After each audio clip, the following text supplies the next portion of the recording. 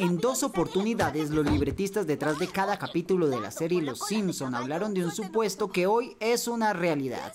La llegada de Donald Trump a la presidencia de los Estados Unidos. La primera fue en el año 2000, en el episodio Bart viaja al futuro. En este, su hermana menor Lisa es presidenta del país más poderoso del mundo, haciendo frente al déficit que dejó el gobierno anterior.